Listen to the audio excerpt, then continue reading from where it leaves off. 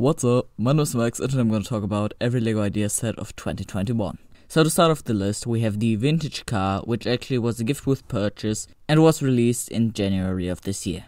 A month later in February, we get the medieval blacksmith. Then we get Winnie the Pooh in April and the typewriter in June.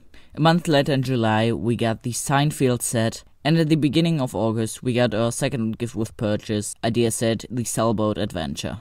And releasing on the 1st of October is the Fender Stratocaster. And go check me out on Instagram.